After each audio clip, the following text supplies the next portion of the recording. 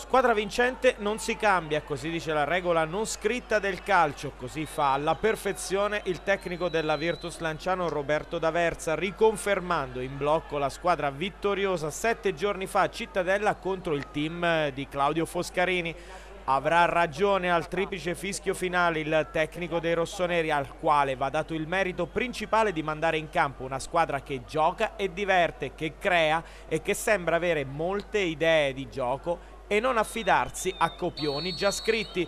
Per il Vicenza solito 3-5-2 con Ragusa e Giacomelli sul fronte offensivo. La pressione iniziale è frentana ma il risultato non si sblocca. La prima conclusione ospite di Sciacca ma il tiro di potenza da fuori aria si spegne sopra la trasversale. Il Lanciano fa la partita ma il risultato non si schioda dalla parità. Al trentunesimo il Lanciano va vicino al gol, cross di gatto, tacco spettacolare di Tiam a volo ma Bremek è reattivo ad alzare in angolo. Amarella al 35esimo offre una palla calibrata per la testa di Trost che in tuffo in area di rigore prova a sorprendere Bremek ma la palla finisce di poco al lato al 37esimo il Vicenza è pericolosissimo e timbra la traversa con Di Gennaro, bravo in questa circostanza l'estremo difensore Nicolas.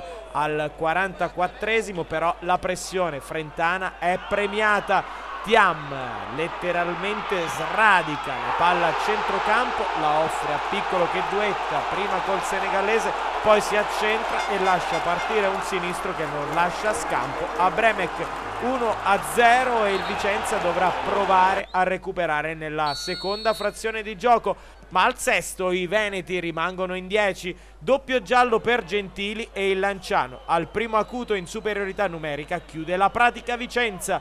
Palla filtrante per Tiam all'undicesimo che fa tutto quello che vuole con la sfera in piena area di rigore e spara un tiro che supera per la seconda volta Bremek il Lanciano gioca sul velluto e può amministrare la sfida del Guido Biondi al meglio, ma c'è il tempo anche per il Tris, sempre griffato Tiam, perfettamente imbeccato da Davide Leonardo Gatto e anche del poker ad opera del siracusano Gaetano Monachello che mostra a tutti il suo amore per Federica Insomma, cos'altro aggiungere? Nulla, la squadra ha smaltito alla perfezione la stitichezza da gol, ma soprattutto sta raffinando bene anche la fase di difesa.